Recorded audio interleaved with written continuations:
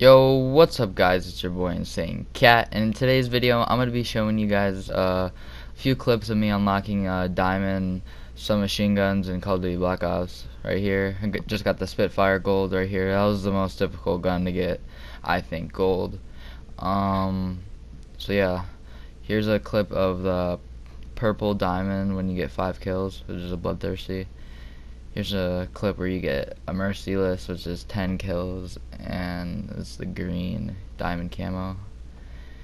For uh, 25 kills, uh, this is the mint green uh, diamond camo. For uh, 15 kills, which is a ruthless, that's a the orange diamond camo. Thank you guys for watching this video. If you guys did enjoy this video, make sure you guys drop a like, subscribe if you guys are new. It's been your boy InsaneKatt, and I'm out. Peace.